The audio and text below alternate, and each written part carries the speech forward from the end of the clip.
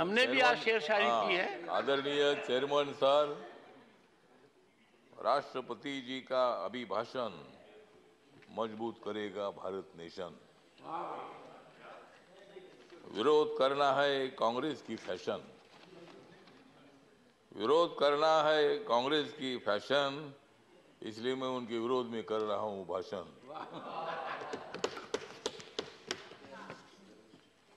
कांग्रेस वालों जितनी बढ़ानी है, उतनी बढ़ाओ दाढ़ी।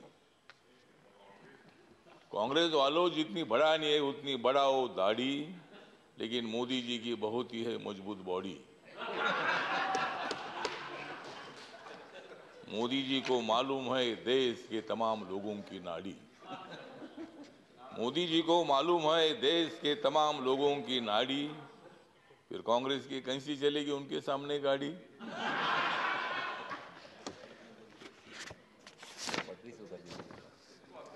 मोदी जी आदमी है खास। मोदी जी आदमी है खास इसलिए उनके साथ है रामदास। यस मोदी जी को विकास की है आस। मोदी जी को विकास की है आस इसलिए राजनीति में हो गए हैं पास। कांग्रेस वाले हमेशा मारते हैं भास। कांग्रेस वाले हमेशा मारते हैं भास, इसलिए राजनीति में हो रहे हैं नापास। तो आज यहाँ माननीय राष्ट्रपति के अभिभाषण पर चर्चा हो रही है और कांग्रेस वालों का और अपोजिशन का आभार व्यक्त करता हूँ कि मतलब वो रोज वेल में आ रहे थे। ये तो मतलब राष्ट्रपति का अभिभाषण ये है मोदी सरकार के विकास की गंगा। काय के लिए ले, लेते हो उनके साथ पंगा? तो दंगा छोड़कर आपने इस चर्चा में भाग लिया इसीलिए कांग्रेस पार्टी का मैं आभार व्यक्त करता हूँ अपोजिशन का आभार व्यक्त करता हूँ और यही आशा व्यक्त करता हूँ कि आप हमेशा उधर ही रहेंगे और हम इधर ही रहेंगे। तो मतलब आप टीका करने के लिए क्रिटिसाइज करने के लिए आवश्यकता है। तो राष्ट्रपति जी का अभिभाषण जो है पॉइंट टू पॉइंट था।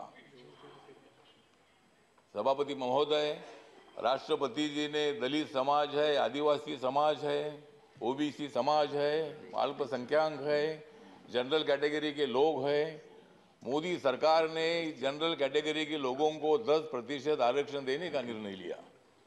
मोदी सरकार ने schedule caste and schedule tribe का जो एक्ट है, उसमें अमेंडमेंट करने का निर्णय लिया। मोदी सरकार ने मतलब बाबा साहब अंबेडकर जी का जो मेमोरियल है, कांग्रेस पार्टी ने तो बाबा साहब अंबेडकर जी को दो बार हराया था। बाबा साहब अंबेडकर जी को लोकसभा में आने का मौका नहीं दिया था। लेकिन बाबा साहब अंबेडकर जी का एक सौ जन्म दिवस नरेंद्र मोदी जी ने बनाया बाबा साहब अंबेडकर जी का फ़ोटो सेंट्रल हॉल में नहीं था। जब वीपी सिंह जी थे, तब उन्होंने वो फ़ोटो लगाया। कांग्रेस पार्टी को उसकी भी जानकारी तो नहीं थी कि भाई बाबा साहब का फ़ोटो जी सेंट्रल हॉल में, बैठकर बाबा साहब ने संविधान लिखा।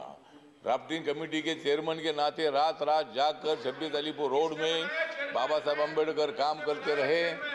और मतलब ये काम हाँ जयराम रमेश जी ये काम आपने करना चाहिए था, लेकिन हाँ ठीक है ना, आपने किया। नहीं नहीं, बाबा साहब अंबेडकर जी को संविधान सभा में आपने लाया, लेकिन उसके पहले दो बार बाबा साहब को हराया। मुझे भी शिरडी में हराया इसलिए मैं छोड़कर इधर आ गया। मुझे भी शिरडी ने आप लोगों ने हराया। तो हाँ तो इसीलिए ठीक बात है तो इसीलिए बाबा साहब अंबेडकर जी के लिए संविधान बदलेगे। ये बोलते हैं कि भाई, संविधान बदलेगे, कैसा बदलेगे? हमने तो कांग्रेस को बदला है, संविधान क्यों बदलेगी? संविधान बदलने का विषय नहीं है। जिस मोदी ने 2019 में सेंट्रल हॉल में संविधान के, संविधान को माथा टेक कर उन्होंने शपथ ले ली है कि बाबा साहब के संविधान का भारत में खड़ा करूँगा। सबका साथ, सबका विकास, इसलिए दिख रहा है यहाँ यहाँ अच्छा प्रकाश। तो मतलब मोदी जी ने सबका साथ, सबका विकास की भूमिका रखी है। और आप चल रहे भारत जोड़ने के लिए। बाबा साहब अंबेडकर जी ने और संविधान ने भारत को जोड़ ही दिया है। झगड़े होते रहते हैं लेकिन फिर भी हम एक हैं। या कोई पाकिस्तान का संविधान हमारा तो नहीं है यहाँ कुछ भी हो जाएगा लेकिन देश टूटेगा नहीं। जम्मू कश्मीर भी हमारा है। अभी हमारे साथी बोल रहे थे कि 370 को हटाया है। पहले हमने कांग्रेस को हटाया फिर 370 को हटाया। तो इसीलिए मतलब हटाने का विषय तो नहीं है। तो इसीलिए मतलब सभापति महोदय राष्ट्रपति जी मतलब हमारी अनुसूचित जनजाति के राष्ट्रपति जो है पहली बार बनाया मतलब शेड्यूल कास्ट का जो राष्ट्रपति है नरेंद्र मोदी जी ने बनाया आपको भी बनाया मुझे भी बनाया